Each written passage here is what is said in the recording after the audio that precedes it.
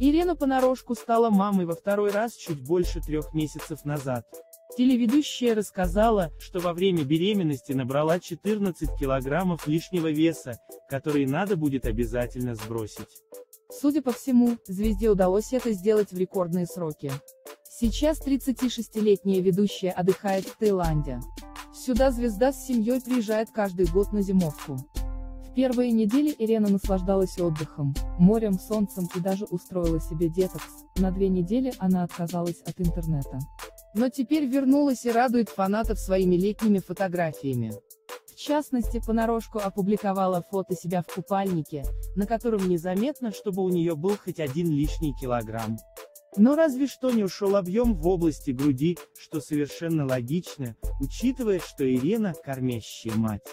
Кстати, телеведущая нисколько не переживала из-за набранных килограммов.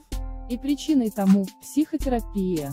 Для любителей цифр и статистики, за время беременности я набрала 14 килограммов, сообщила телеведущая. После родов осталось 7 килограммов. В прошлый раз все было тютелька в тютельку так же.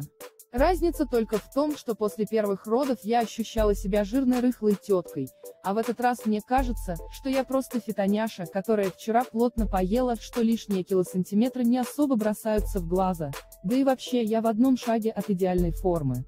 Буквально два раза присесть и один раз в планке постоять. Смеется.